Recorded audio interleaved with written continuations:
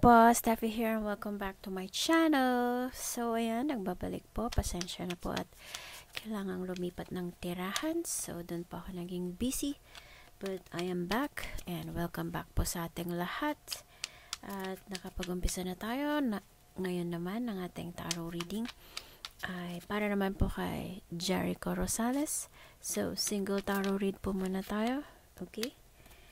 Para kay Jericho. Jericho Rosales. Ito na pa yung kanyang cards. Let's start.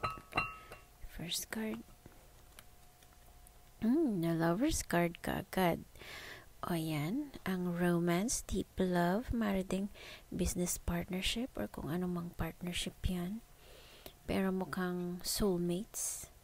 Mukhang ang forever or ang meant to be. Okay, let's see kung ano pang sinasabi ng mga susunod na cards. Okay? Next, the Fool. Mm, o, oh, ayan.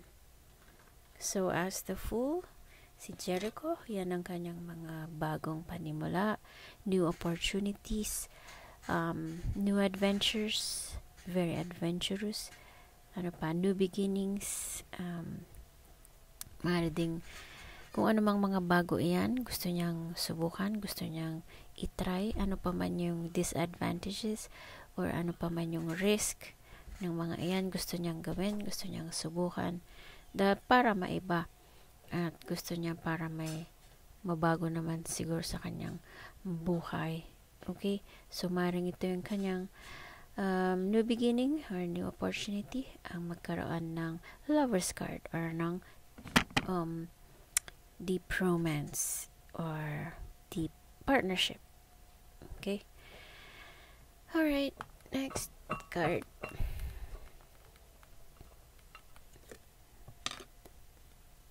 Mm, the Empress. Okay. Hindi kaya yan si ano, yan si dito ang partner dyan sa lover's card, si Empress. Sino kaya si Empress? Maring si Empress ang kanyang tinatangi na binibini na mabait, um, mayaman, Uh, what else? Uh, abundant. Marading si Jericho mismo ito na as the Empress. Mabait. Responsible. Hmm. Ano pa? Hmm, basta ganun. abundant, blessed. Um, ble uh, ano pa?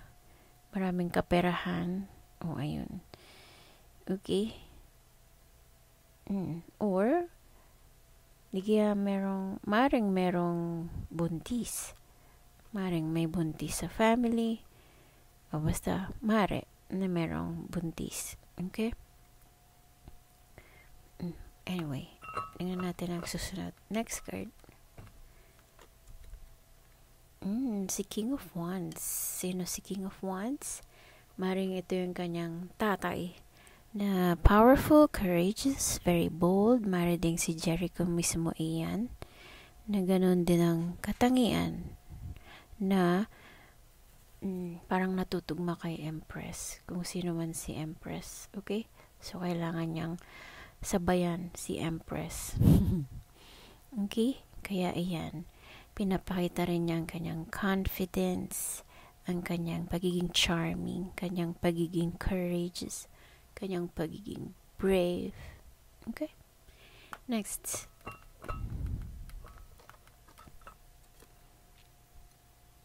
Ten of Swords. Oh, ang lungkot naman. So, merong painful ending kaagad. Nagsisimula pa lang yung romance dyan. At ang new adventures. At iyan, ang showcasing their talents.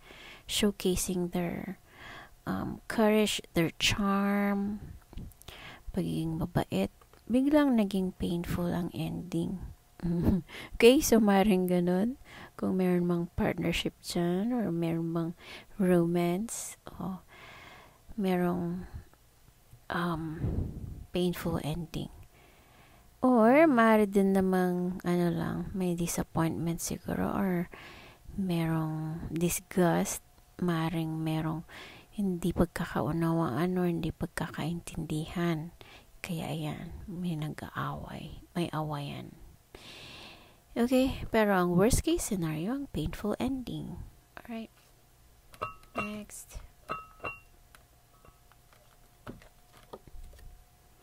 Mm, 10 of Wands. 10 na naman. So, kung 10, laging katapusan. parang may pagtatapos. So, si 10 of Wands naman, o oh, ayan, tingnan nyo itsura. Parang napagod. Um, ano pa? Dahil siguro sa too much na responsibility, daming ginagawa, ayan, napapagod din, exhausted din. Kailangan niyang magpahinga Maring dahil dito din, sa painful ending na yan, napagod. okay? Kailangan niya din siguro mag-unwind, mag-rest, magliwaliw, maglibang. Okay? Next card. Oh, si Page of Swords. So, ito na yung ating paborito lahat. okay? Ang mga marites, marisol, whatever. Okay? Ito ang mga mata sa paligid, mga pinya, maraming nakamasid, maraming nag-aabang, maraming curious sa buhay-buhay ng ibang tao, maraming, um, ayan, maraming chismax behind his back. So, ito ang mga um, curious lang siguro, updated sa mga ganap sa buhay ni Jericho.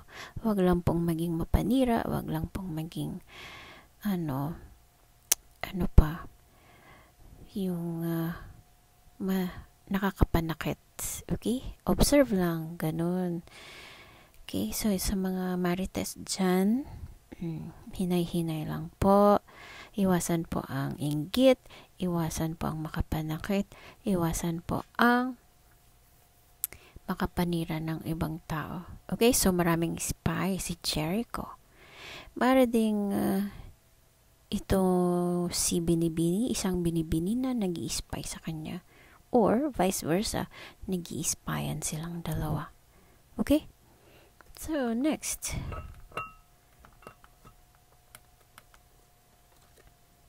Wow, the High Priestess. Okay, so the High Priestess, ayan.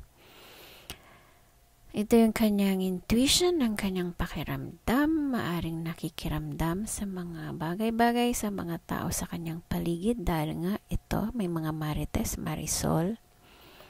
Okay, maaari ding dahil dyan sa kapaguran, sa painful ending, kailangan niyang magtiwala mo na sa sarili. Ang sarili mo na ang pinagkakatiwalaan ngayon. Okay? Dahil siguro napagod na siya dyan. Nakakapagod din, di ba? Kung may mga mapanira sa likod. Ayan. Lalo na kung apektado siya. Kaya, ayan. Si High Priestess, uh, nakikiramdam mo na siya. At, ang pinagkakatiwalaan mo na ay ang kanyang sarili. Right?